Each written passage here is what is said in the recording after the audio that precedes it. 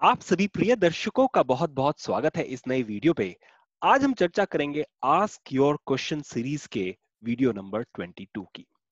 हमारा प्रश्न आज है, एक निकनेम है rainbow happy I hope that's a nickname the gentleman is using इनका क्वेश्चन है why invest only 5% in this of the total portfolio उन्होंने ये कमेंट किया है फ्यूचर रिटेल के बारे में। Totally disagree on your analysis. Anyways, your voice is good, so make useful videos so that viewer get benefited. तो mister rainbow happy जो भी आपका असली नाम है हम आपको मिस्टर रेनबो के नाम से ही बुलाएँगे मिस्टर रेनबो पहले तो आपका बहुत बहुत धन्यवाद अपना कमेंट डालने के लिए क्वेश्चन डालने के लिए हम इसको दो तरह से क्वेश्चन को ले रहे हैं पहला फ्यूचर रिटेल का आगे का क्या भविष्य है तो हम थर्सडे का टेक्निकल एनालिसिस करेंगे इसका, जैसे हम रेगुलरली करते हैं, और उसके साथ में इनका जो कहना है कि पाँच परसेंट का पोर्टफोलियो लोकेशन नहीं होना चाहिए स्टॉक में, वो गलत है उनके हिसाब से, उसकी थोड़ी सी चर्चा करेंगे। हम आपके व्यू की पूरी रेस्पेक्ट करते हैं। Definitely everybody has their opinion and that opinion has to be respected और हम आपके ओपिनियन की पूरी तरह से रेस्पेक्ट करते हैं। Thanks a lot for making the nice comment I appreciate that कि हमारी वॉइस अच्छी है। आई होप हमारे चैनल पर जो वीडियोस हैं वो आपको वो भी अच्छे लगेंगे।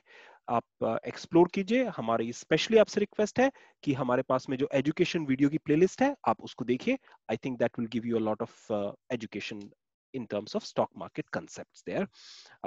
अब हम बात करते हैं सबसे पहले फ्यूचर रिटेल के चार्ट से। तो अगर शुरुआत करते हैं सबसे पहले चार्ट के लिए तो जो फ्राइडे को चार्ट बंद थर्सडे को चार्ट जो बंद हुआ है फ्राइडे को तो छुट्टी है आज, यहाँ पर इन्होंने एक बहुत बढ़िया डॉजी बनी है। बढ़िया क्यों कह रहे हैं, अभी समझाएँगे इस बात का। डॉजी जनरली होती है जिसका डिसीज़न नहीं हो पाता है आगे। तो ये एक अच्छा इंडिकेशन है जो हमारे हिसाब से बहुत फिट हो रहा है यहाँ पर अब के कंटेक्स्ट में। डॉजी का मतलब मार्केट डिसाइड नहीं कर पा रहा है कि ऊपर जाऊँ कि नीचे जाऊँ। तो यहाँ पे कंफ्यूजन की वजह से ऊपर जाता है तो ऊपर से सेलर आ जाते हैं। नीचे जाता है, नीचे से बायर आ जाते हैं। तो उसको ऑलमोस्ट एक बहुत पतली फ्लैट लाइन पे बंद किया है और ये अच्छा दिन था इसको ट्रेड करने के लिए। कुछ लेवल डिस्कस करेंगे। लेवल डिस्कस करने से पहले इसका पंद्रह मिनट का चार्ट अगर दिखाएँ तो देखिए पंद्रह मिनट के चार्ट में क्लियर कट आपको दिखाई देगा कि मॉर्निंग हाफ़ में खुला वहीं पे जहाँ पे कल बंद हुआ था और यहाँ से कंटिन्यूस पहली तीन पंद्रह मिनट की चार्ट पर इसने डाउनवर्ड पाथ प्रेशर बनाया। उसके बाद से यहाँ पर अच्छी डिमांड दिखाई दे रही है, ऊपर चलने लगा, ऊपर चलने लगा। जब उसने ये बार बनाई, हम इसको बहुत रेगुलरली मॉनिटर करते हैं अपने ड्यूरिंग द मार्केट आवर्स पे। तो जब इसने ये बार बनाई, तब हमें थोड़ा कॉन्फिडेंस आ गया था कि यहाँ पर अब ये अच्छा मोमेंटम देखा। उसका रीजन समझिए कि लोअर लेवल से कंजिक्यूटिवली उसने चार बार बनाया और इसका ये लेवल जो था, उसको क्रॉस करने की ज़रूरत थी। जब उसने क्रॉस किया, या तो प्रेशर हो सकता था नीचे आए और मार्केट नीचे जाए तो लोअर सर्किट की चांस थी। पर जब इसने प्रेशर के साथ ऊपर गया यहाँ पर, और पिछली कैंडल का भी बार क्रॉस कर दिया तो कैंडल स्टिक पैटर्न के हिसाब से ये एक बहुत बुलिश साइन हो जाता है, जिसके चलते हुए आगे ऊपर जाएगा। तो देखिए, यहाँ से क्लियर हो गया था 88 के पास में, ये 91 तक चला गया था। तो काफ़ी अच्छा है, उसके बाद में ये बंद हुआ है 89.80 के आसपास जाकर बंद हुआ है। तो इंट्राडे के बेसिस पर काफ़ी अच्छा व्यू बन रहा है यहाँ पर, अगर आप कैंडलस्टिक पैटर्न्स को एडवांस कैंडलस्टिक पैटर्न को फॉलो कर सकते हैं। तो अगर हम इसमें देखें वन डे के चार्ट की बेसिस पर आगे की क्या प्रक्रिया हो सकती है तो देखिए वन डे के अगर चार्ट बनाएँगे तो उसको आपको दिखाते हैं ये चीज़। उससे पहले निफ्टी की बात करते हैं। अगर निफ्टी की बात करें तो दिन का कारोबार बहुत अच्छा रहा सुबह से ही तेज़ी का रुख था और करीब 12 बजे तक खूब तकड़ी तेज़ी हुई। उसके बाद में कभी थोड़ा सा नीचे, कभी थोड़ा सा ऊपर, कभी थोड़ा सा नीचे और बाद में जाते जाते पूरा अपना दिन के हाई लेवल पर बंद हुआ है। करीब करीब 1.5 परसेंट के आसपास, जो कि एक बहुत अच्छा साइन माना जाएगा। तेज़ी का रुख था कल मार्केट में क्लियर कट मार्केट से इंडिकेशन आ रहा था। अब इसके कुछ हम लेवल्स देखने की कोशिश करेंगे, जो आपको हेल्प करेंगे आगे आने वाले टाइम के लिए कि कैसे ये लेवल इंपॉर्टेंट है और कैसे आपको इनको देखना है। तो देखिए हम फिबोनाची आर्च ट्रेस करेंगे इसका, जो इसका पहला लेवल है, जो इसका सबसे बॉटम का लेवल है, यहाँ से लेकर अगर आप यहाँ तक का एक फिबोनाची आर्च बनाते हैं, जो इसका हाई बना है यहाँ पर तो इसके कुछ लेवल निकल के आएँगे जो आपको क्लियरली ध्यान रखने हैं। तो देखिए, इसने, इसके नीचे गया 88.83 के आसपास, फिर अगला लेवल जो यहाँ पर आया है, ये 86 के आसपास इसने सपोर्ट लिया। 50 परसेंट है एज अ रैंडम नंबर नहीं है, आप देखिए, नीचे से ऊपर तक गया एक रिट्रेस करने की कोशिश किया 50 परसेंट से रिट्रेसमेंट हो सकता है यहाँ से, बहुत अच्छा अब ऊपर चलने की कोशिश करेगा। ये एक एलियट वेव पैटर्न है, जिसको कह सकते हैं आप वेव ए ये वेव बी बनी है, अब यहाँ से वेव सी चलेगी, जो अपना वेव सी को कंफर्म करने के लिए जो की लेवल है, वो करीब करीब 95 रुपीस के ऊपर जाना है। और 95 एक क्रिटिकल लेवल भी है इसका। आप ये समझिए दोस्तों 95 क्रिटिकल लेवल भी है, क्योंकि 95 पहले इसका सपोर्ट हुआ करता था, अब वो यहाँ पर रेजिस्टेंस की तरह से काम करेगा। अगर सुपर ट्रेंड देखें तो सुपर ट्रेंड ने क्लियर कट 101 का एक स्टॉप लॉस बना के रखा है, जो कि स्टडी है पिछले कई दिनों से। तो वो भी एक अच्छा साइन है इसके साथ में। अब हम बात करते हैं कुछ इनकी रिस्पॉन्स की, और अपना हिस्ट्री से बताते हैं, अपनी अपनी एक्सपीरियंस से बताते हैं। अगर आप, मैं अपने आप को 23 साल पहले लेके जाऊँ तो शायद ये एग्जैक्ट सेम वर्ड्स मैंने अपने फादर के साथ भी यूज़ किए थे, जो आपने कहा है कि मैं आपके साथ एग्री नहीं करता हूँ पाँच परसेंट पोर्टफोलियो का। तो मेरे फादर ने बहुत अच्छा रिस्पॉन्स किया था उसको और मैं अभी भी मुझे अच्छे से याद है, क्योंकि उन्होंने इतनी अच्छी तरह से समझाया था मुझे मुझे अभी भी याद है। उन्होंने कहा था, ठीक है, आप अपना पोर्टफोलियो मैनेज करो, हम कुछ टाइम बाद इसको बात करेंगे, अभी नहीं बात करते हैं। तो हमने अपना पोर्टफोलियो मैनेज किया और हमने कुछ स्टॉक लिए शुरू में, जोश रहता है, गर्म खून रहता है। तो हमने दो या तीन स्टॉक में अपना सारा पोर्टफोलियो का मनी इन्वेस्ट कर दिया। पर हमारे फादर ने एक ट्रिक कर दी थी कि जो हमें पोर्टफोलियो मैनेज करने के लिए दिया था, वो केवल टेन परसेंट टोटल पोर्टफोलियो था हमारे फैमिली का। तो उन्हें पता था, क्योंकि ये गलती से ही सीखेंगे तो इसलिए उन्होंने जानबूझ के छोटा पोर्टफोलियो रखा।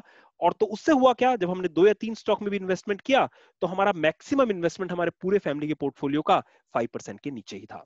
पर हुआ क्या, उससे हमें बहुत बड़ी सीख मिली, और जो अभी तक हमारे साथ में है, उसमें से एक स्टॉक हमारा नीचे गिर के ऑलमोस्ट तीन रुपए चला गया था दोस्तों। तो ये समझने वाली बात है आपको कि स्टॉक मार्केट में कुछ भी हो सकता है। वो हमने पंद्रह रुपए का स्टॉक खरीदा और तीन रुपए चला गया। तो हमारी वेल्थ जो है वन फिफ्थ हो गई उसके रेफरेंस में। हमारे पोर्टफोलियो का साइज़ वन फिफ्थ हो गया। तब तो हमें लगा कि नहीं, हम रिकवर कर लेंगे, हम समझ में आएगा। पर धीरे धीरे हमें जब एक्सपीरियंस होता रहा, ये सब चीज़ें सीखते रहे। मार्केट ने बहुत कुछ सिखाया दोस्तों। ये एक दिन में नहीं आता है, जब आप धीरे धीरे एक्सपीरियंस करेंगे मार्केट को मार्केट को आप अपने आप market is the best learner आपको कोई यूट्यूबर की देखने की ज़रूरत नहीं है। आप अपना ट्रेडिंग अगर एक्टिवली कर रहे हैं, आप अपना ट्रेडिंग जर्नल बना के रखिए। देखिए कहाँ आप गलती कर रहे हैं, कहाँ आप सीख रहे हैं, कहाँ आपको प्रॉफिट मिल रहा है क्या स्ट्रेटेजी आपकी सही चल रही है, क्या स्ट्रेटेजी आपकी गलत चल रही है? मार्केट आपको सब कुछ सिखा देगा। आपको किसी मेंटर की ज़रूरत नहीं है, किसी ट्यूटर की ज़रूरत नहीं है।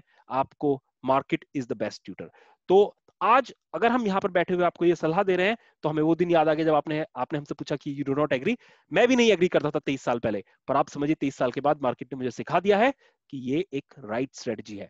हो सकता है आप ना एग्री करें। I am I am totally respecting it and हो सकता है आपकी हो सकता है हमारी स्ट्रेटेजी गलत थी उस टाइम पे तो इसलिए हमें ये सही लगी बात।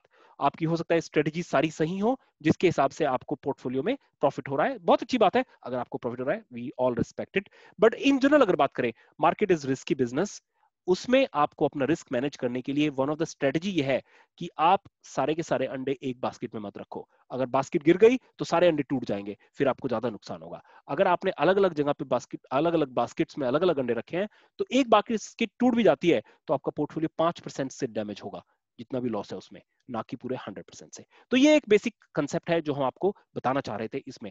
अगर पैराबोरिक सार के हिसाब से देखें तो इसने ऑलरेडी बाई सिग्नल दे दिया, जहाँ पर आपका सुपर ट्रेंड अभी भी सेल कर रहा है 101 के लेवल पर, अब ये बाई कर रहा है यहाँ पर।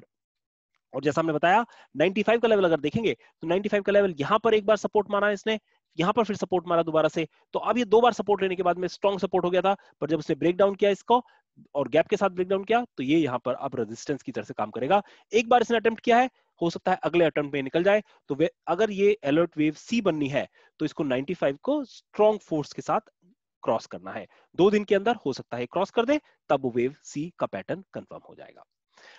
अब अगर मैकडी को देखें तो मैकडी एक एडवांस इंडिकेटर है जो आपको डाइवर्जेंस दिखा देता है। तो यहाँ पर देखिए, दोनों बहुत क्लोज आ गए हैं। यहाँ पर हो सकता है कि अब यहाँ से ये पैटर्न में अप मूवमेंट शुरू हो जाए स्टॉक के लिए। दोस्तों, हमारे चैनल पर बहुत सारे वीडियोस हैं और आप चाहें जो अपनी मर्ज़ी से देख सकते हैं, एक वीडियो की ज़रूर रिक्वेस्ट करेंगे, अगर आप मार्केट में नए हैं, ये हमारे और हमारे फादर के एक्सपीरियंस के बेसिस पर हमने सात मिस्टेक लिखी हैं और उनके ऊपर वीडियो बनाया है, जो आपको नए बिगनर है मार्केट में, उनको अवॉइड करनी चाहिए। तो इसको देखिएगा और आपका कोई फीडबैक है तो कमेंट सेक्शन में ज़रूर डालिएगा उसके लिए, ताकि हम आगे फर्दर इंप्रूव कर सके। अब यहीं पे अगर हम बुलियंजर बैंड देखें तो बुलियंजर बैंड अब नैरो होता जा रहा है, जो कि बहुत अच्छा साइन है। आगे इसकी मार्केट मूवमेंट पॉजिटिव आने का एक की इंडिकेटर है। जब ये बैंड नैरो हो जाएगा और यहाँ पर अब अगला अगला लेवल बुलिंजर बैंड के हिसाब से 97 का है। जब ये 97 क्रॉस करेगा तो आगे ऊपर जाने की तैयारी करेगा ये। ये एक अच्छा इंडिकेशन है, जो आप अपने हिसाब से देख सकते हैं। दोस्तों, हम निफ्टी और बैंक निफ्टी में एक्टिव इंट्राडे ट्रेड करते हैं। उसका सर्विस पेड सर्विस प्रोवाइड करते हैं eight thousand rupees per month और उसके साथ में आपको stock market learning and mentoring मिलेगी हमारे साथ में। तो आप ये चाहें तो मेल ड्रॉप कर सकते हैं। Will be more than happy to assist you अब फ्यूचर रियल की बात करें सीसीआई का अप्रूवल इन प्रोग्रेस चल रहा है। जहाँ तक उम्मीद है, दशहरे तक ये अप्रूवल आ जाना चाहिए। उसके हिसाब से मार्केट को तैयार होना है। यहाँ से कंसोलिडेशन हो रहा है, आगे चलकर ये यहाँ से तेज़ी का रुख करने की कोशिश करेगा, जैसे ही सीसीआई का अप्रूवल आ जाएगा। अगर फिर से बात करें कि आप एग्री नहीं करते हैं हमारे साथ उसमें विच इज़ फाइन आप, हो सकता है आपकी सिस्टम जो है, वो 90 परसेंट एक्यूरेट है। I totally agree with you और बहुत अच्छा है अगर आपका इतना अच्छा सिस्टम है बट कभी कभी हम फाइव परसेंट एरर भी रहते हैं।